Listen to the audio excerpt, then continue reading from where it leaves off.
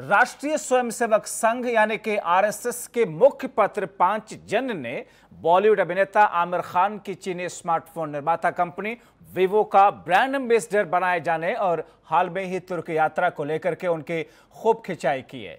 इस पर इस चार पेज के लेख पर ड्रैगन का प्यारा खान, इस लेख में लिखा गया है, शीर्षक है, ड्रैगन का प्यारा खान में आमिर खान पर कई सवाल उठाए गए। लेख में कहा गया कि आमिर खान की फ़िल्म दंगल ने चीन में कुल 1400 करोड़ रुपयों का कारोबार किया, जबकि सलमान के सुल्तान महज 40 करोड़ ही कमा पाई। आमिर भारत में चीनी मोबाइल फ़ोन वीवो के ब्रांड एम्बेसडर हैं, जो सुरक्षा के नियमों के खुलेआम अनदेखी करता है। ग्लोबल टाइम्स के अनुसार आमिर खान के चीनी सोशल मीडिया मंच सिना वेबो पर 10 लाख से अधिक फॉलोअर्स हैं। हाल में ही इस्तांबुल में तुर्की के फ़र्स्ट लेडी एमिन अर्दोगन के साथ में आमिर खान की मुलाकात के बाद में काफ़ी लोगों ने अपनी नाराज़गी व्यक्त की।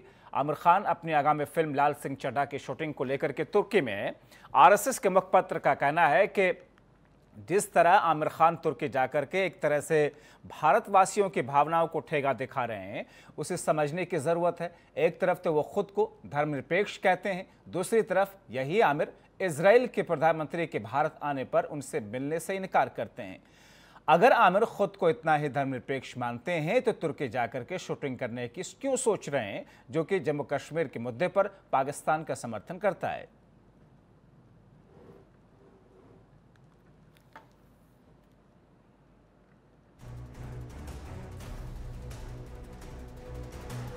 तो ये दरअसल लिखा गया है, आरएसएस के मुखपत्र पाँच जन के अंदर, कि किस तरीके से आमिर खान को लेकर के आरएसएस के मुखपत्र के ज़रिए निशाना साधा गया है, आरोप लगाया गया है, सवाल उठाया गया है, ये कहा गया है कि आमिर खान खुद को धर्मनिरपेक्ष कहते हैं, लेकिन इसराइल के प्रधानमंत्री से मुलाकात करने में उनको हिचक होती है। तुर्की जाकर के भारतवासियों की भावनाओं को ठेंगा दिखाते हैं।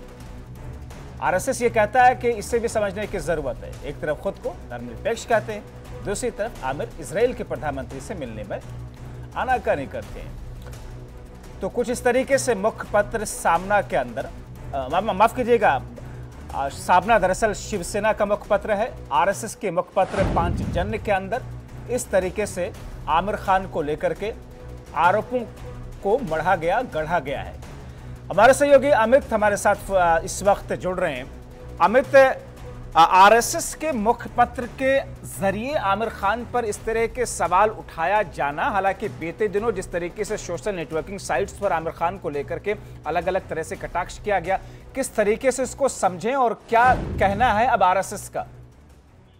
देखिए, सबसे बड़ी चीज़ की जो तुर्की की फ़ोटो खासतौर पे आमिर खान की वायरल हुई थी, उसके बाद सोशल मीडिया पे लगातार ट्रोल हो रहे थे और रिसेंटली जो वीवो के साथ उनका कांटेक्ट हुआ है इसे लेके कहीं आरएसएस भड़का हुआ है, क्योंकि लगातार कोशिशें की जा रही है कि चीनी सामान जो भी है, उससे ज़्यादा से ज़्यादा बायकाट किया जाए। और ऐसे में आमिर खान का वीवो जुड़ना आरएसएस को सबसे ज़्यादा खल्ला है, और यही बड़ी वजह है कि पाँच पाँच जन में आज जो आरएसएस का मुखपत्र है, उसके ज़रिए जो है वो आमिर खान पे निशाना साधा गया, जिसमें साफ़ तौर पे कहा गया है कि धर्मनिरपेक्ष होने की आमिर खान बात करते हैं, लेकिन कहीं पे उनकी धर्मनिरपेक्षता नहीं दिखती।